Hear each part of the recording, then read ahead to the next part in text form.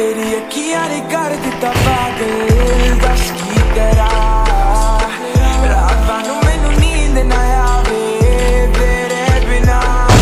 ਸੋਹਣੀਆਂ ਤਾਂ ਮੇਰੇ ਕੋਲ ਤੂੰ ਆ। ਹੁਣ ਆ ਕੇ ਦੂਰ ਨਾ ਜਾਵੀਂ, ਆਏ ਹੋ ਗਿਆ ਪਿਆਰ ਤੇਰੇ ਨਾਲ। ਹੁਣ ਲਾਈਆਂ ਤੋੜ ਨਿਭਾਵੀਂ। ਲਾਈਆਂ ਤੋੜ ਨਿਭਾਵੀਂ।